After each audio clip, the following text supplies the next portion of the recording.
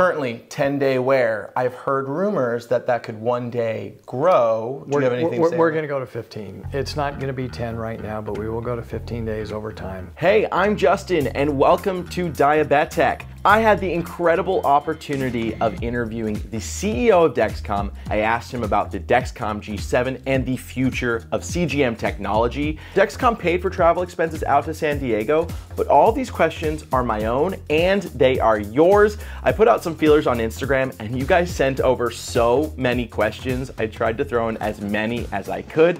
So here it is. We are all very excited to talk Dexcom G7, and I also have a couple questions about kind of the future of where CGMs go because I'm kind of Sure. interested in that too.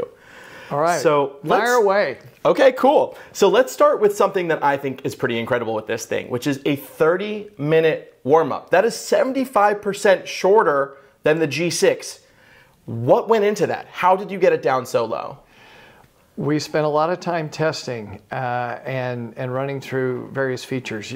Sensor performance is derived from the sensor signal, but also the algorithm that interprets the data. So science went into both the sensor design and the algorithm that turns it into the glucose value to make it accurate that quickly for the warm-up. And I will give a little spoiler. While it is 30 minutes, when you put it on, the minute you deploy it, the clar- it start, starts ticking. So when the app starts up, you think it's going to say 30 minutes, and oftentimes it's like 24 or 26. It's pretty cool. And the warm up is it is fast. It is a great feature. And so, for, for the record, is it possible to have one G7 on, put on a new one, and then let the old one kind of do its thing, and then the new one will kind of just be ready after 30 minutes? Can you layer them? Uh, That is my understanding, but you need to talk to somebody more technical than me on that one. I haven't tried that yet. Okay, well, I will be trying out, You, it you can out a- very you- soon. You can ask somebody that question. Okay, well, tell me about the alert, the, the new alert features on Dexcom G7. You know, very similar to the old ones. Uh, I, I just think they're more, I, I think they'll be more precise and more accurate. Over time, we have a feature in Europe that is kind of the anti alert that will come back to the States. Our users asked us to give them ti- uh, the ability to shut them all off for a while.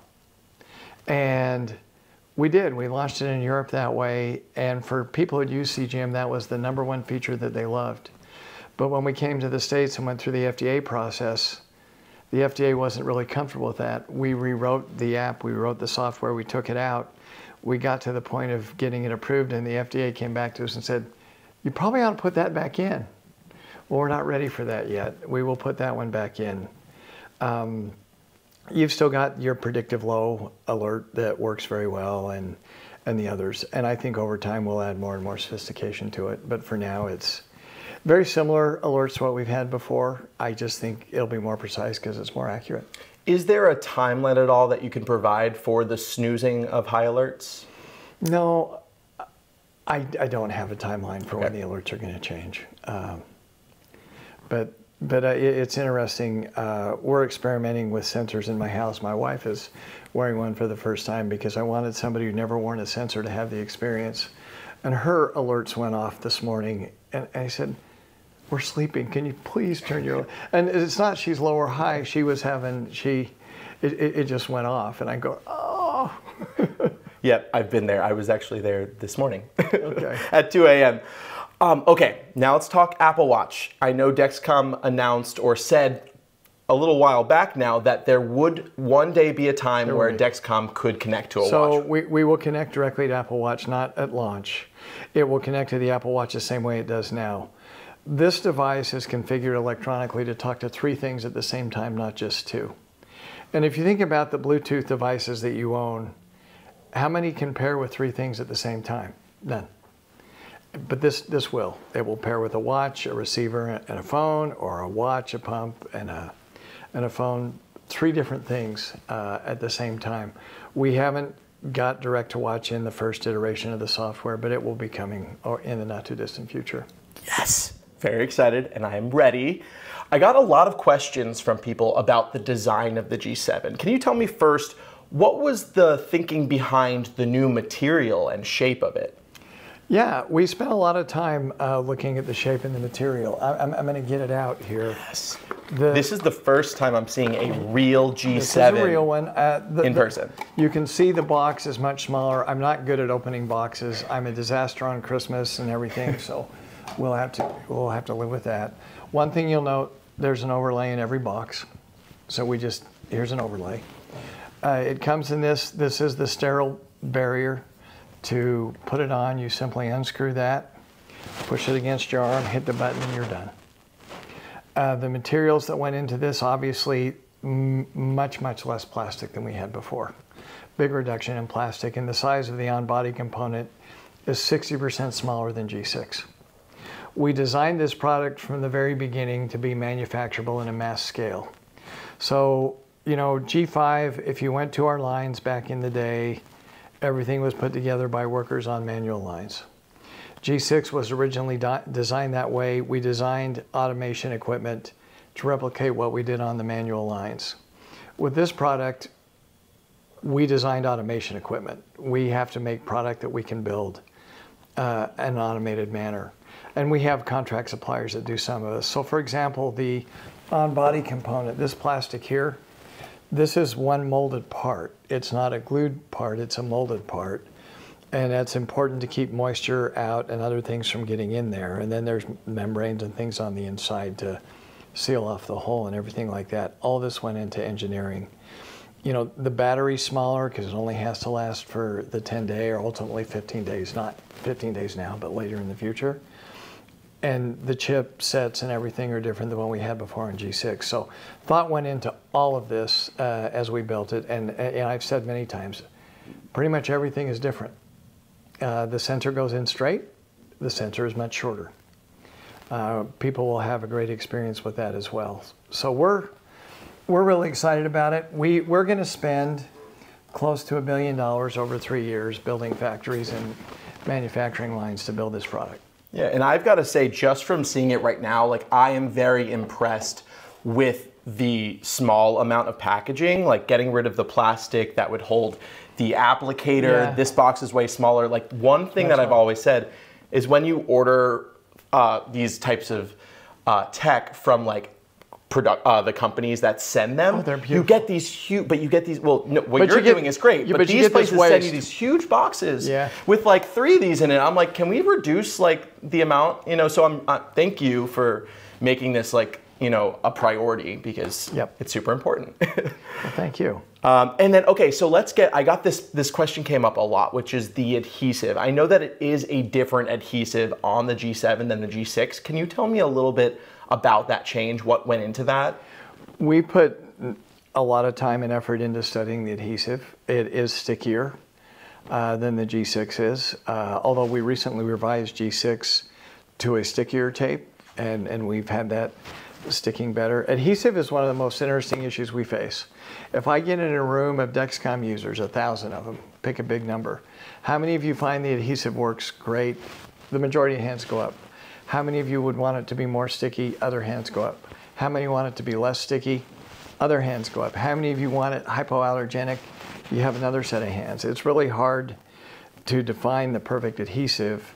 This is one of the adhesives that we tested extensively and we really like. We continue to test adhesives.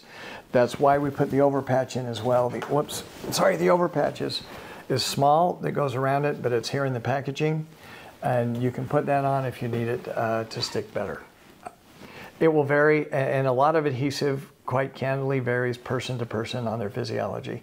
Some tapes stick very well. That's one of the studies I participate in at the company. So, literally, we'll take four or five patches and say, Will you all wear these patches so we can see which one's the best? And so I'll walk around the house with patches all over my arms and my back just to see uh, how they work. And yes, my family makes fun of me when I when I do that, but we take it seriously, uh, and we'll continue to monitor how it performs and continue to look for for better ones. Uh, we, we're never going to stop on the adhesive side, but it really isn't possible to offer five or six adhesives because what do you put in the drugstore?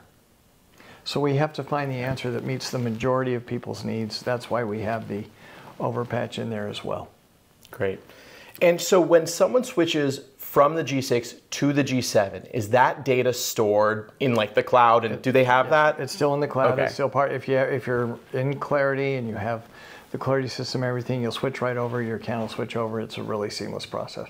Okay, I got this question a lot. I think I know what you're gonna say.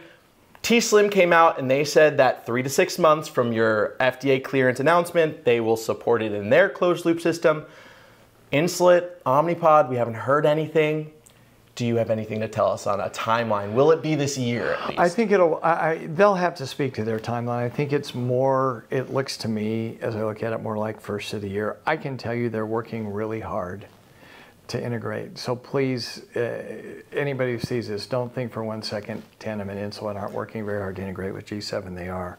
I think we need to remember from a perspective basis, Omnipod 5's not been out that long, uh, and they're working with and through that, and that that product is designed is very sophisticated. It's an excellent design. That transmitter talks to the pod on your body, and so they've got to make sure that receives a signal. And our communication protocols are different. Our cybersecurity is different. Again, everything about this is different.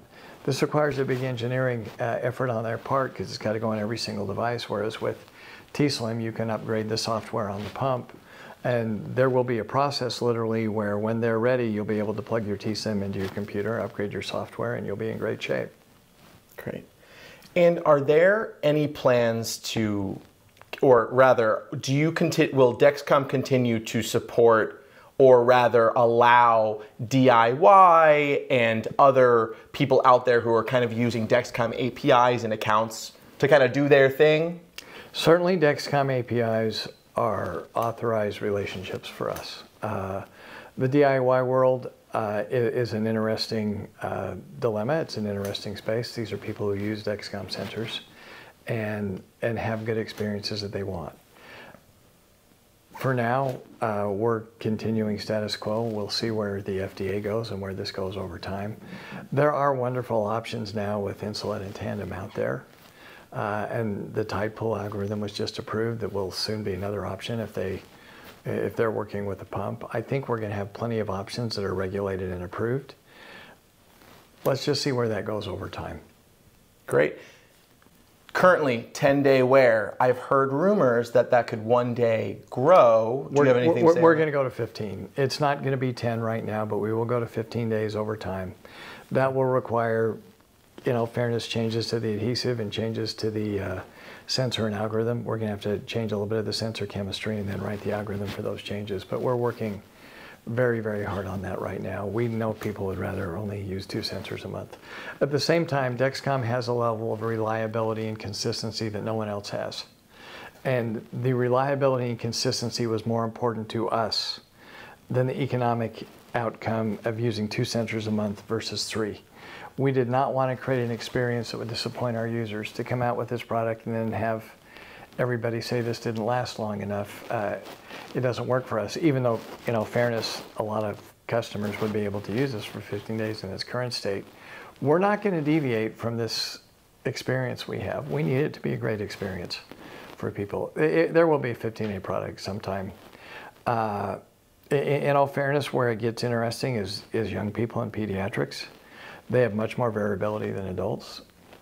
It'll be interesting to see how the 15 day solution works there because physiology is different in people and kids and in everybody. And, and we, we are going to make sure we always offer solutions that meet people's needs and are safe and meet their expectations on the reliability front. Now, c- correct me if I'm wrong. Currently, the only FDA cleared position for the G7 is on the back side of the arm. Is that for everyone? That is correct. Are there any plans to get FDA clearance for other areas on the body in the future? So in Europe, the product is labeled for wear on the abdomen and on the arm as well. With respect to FDA rules and regulations for iCGM, the data on the arm, in all fairness, was it, it met those standards very strongly, and that's what we filed with. Uh, that's where the clearance is. We'll leave that to patients to use where they where they use it. Uh, I've been wearing sensors on the arm for a long time, even G6s, and uh, I find that for me is the best place to wear them. I don't think people will be disappointed with arm wear here. Yeah. And now we are all very excited about the G7, but we're also already thinking about the G8. Do you have anything to tell us about just what you see or what you hope to see in the CGM space in the future? You know, for us going forward, uh, as we look at, at new products, certainly getting to 15 days, never giving up our reliability, and, and even though the accuracy level is very good, we'd always like to eke out more because we want to lead there. What do people want? They, they always want a smaller form factor, even though this form factor is smaller. Um, we'll look at that, but at the same time, we won't sacrifice connectivity, flexibility, uh, to connect with other devices, and you need uh, you need some space to do that for the battery and the antenna and everything to function function properly. We'll look at less materials. Uh, you know, the material reduction here is huge, and if we can reduce more materials and make this better for the environment, we will do so. I think you'll you'll see a lot. This platform gives us the ability to do a lot of things. I also think we're going to be much more active from a software perspective going forward and upgrading the app more frequently. Uh, we rewrote the software as well. It's now one software platform for all geographies. So when we implement a feature, we're going to implement it everywhere. Right now with G6, remember we were pretty new at this when we started. Uh, there's there's there's a whole bunch of different G6 apps. So we'll fix, you know, we'll make a change to the US app and then team will do the UK app and then we'll do the French app and whatever. That's going to change with, with G7. Uh, we're going to have one app platform and we'll be able to upgrade much faster. One feature in the app in the US, for example, we have Spanish in the US. You can do English or Spanish now with the G7 app. Uh, that really opens this up to a lot more people. Great. And I've heard from people who have the G7 app already that there is currently no widget for iOS. There was for G6. It will, will come. Okay. Okay, it will great. Come. Okay. And so there have been reports in the past of a possible eventual technology that is non-invasive CGM tech. Is Dexcom looking at that? We look at all those technologies. Uh, we're not naive enough to believe that other people couldn't do something remarkable.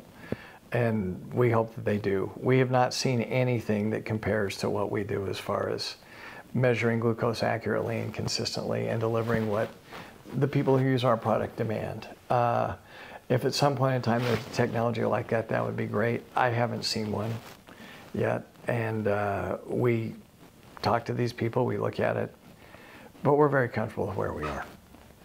Great. And I got this question a lot too, which, which is like, when and how can we get this? So I know it's in so the US. Let me walk you through yeah, that. walk me through that and then where they can find out as well. So it, our website's a good place to go. Uh, we have a lot of G7 information on the website, uh, particularly with the Magic campaign uh, and the Super Bowl ad. So if you go there, you can you can get figure out a good way to get access to it. We are working very rapidly with the insurance companies to cover this product. In the meantime, we have what we call a bridging program where you could go pay cash for it at a pharmacy. That program really, we just started shipping into the channel early this week, late last week. So now product is getting into the channel and people will be able to go into the drugstore and get it. It'll take a little time for it to, to fill up. Uh, and I'll give you an example. We have a lot of Medicare patients. CMS approved G7 in less in like 61 days, which is a very quick time period. So now that G7's approved for Medicare users, we're putting product in the hands of the Medicare distributors. So uh, our customers can have access to it there as well. Uh, we'll roll it out uh, as quick as we can, but for those where we don't have coverage and you, and you can't get it, we have this bridging program where you can go pay cash and give it a try. Great, awesome, Kevin. That is all I have for you. I appreciate it so much. I, this was this was incredible. It's so great to meet you.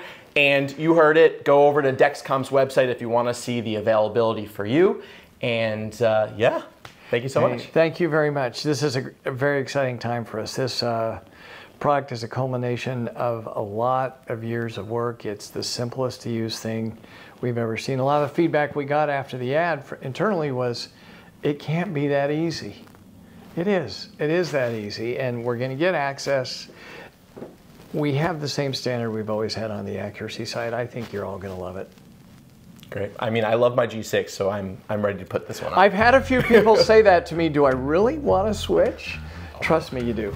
I want to switch. Okay. I'm ready. Let's do it. I hope you enjoyed the interview and learned something new. I am so excited to be wearing the G7 and I will be putting out a lot of content on that as well as more interviews and other diabetes and diabetes tech related stuff on this channel. So make sure you subscribe, give it a like if you enjoyed it, and click that bell if you want alerts when I put out new videos. I'm Justin, and I'll tech you later.